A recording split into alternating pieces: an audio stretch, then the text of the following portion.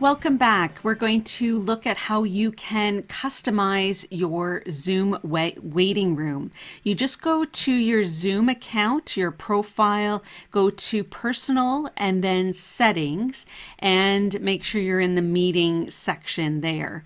Um, it's right towards the top is where you'll find waiting room. There's a lot of settings that you can adjust, but make sure waiting room is turned on and then you have the option to edit um, to make sure that everyone will go into the waiting room or there's some other options there. But most importantly, what we're going to look at right now very quickly is how you can customize your waiting room. So you just click that option right there.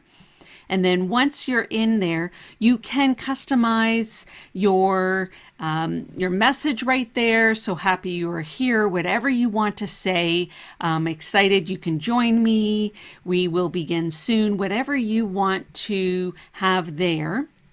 And then you can also upload a your logo or a customized you know, picture, whatever you want to put there that's friendly and can identify then who you are um, or some messaging. If you're partnering with other people, you can maybe have a joint logo there.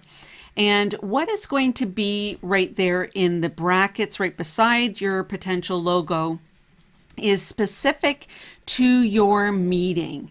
Um, so what is going to be put there is going to, so it's very important when you set up your meeting that you put the title so when people get into the waiting room, they're able to see that they're in the right place but the rest of the customization is going to be in every waiting room. This is the only part that's going to be specific. Uh, the, the name of your meeting, any description you put in um, to your meeting, and the date and time. So then right under there, you can also add in another message that you will be let in soon, um, you know, whatever you want to say, so that this can be a custom welcoming experience.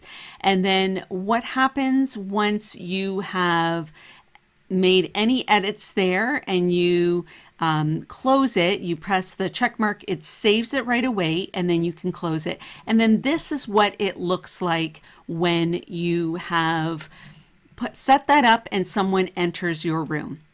Thanks for watching. This is Patricia Regier with Regier Educational Services. Hope you have a light bulb learning moment today and that you're able to facilitate engaging online learning experiences for your participants.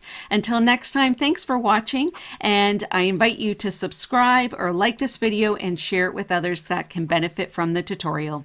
Until next time, thanks again.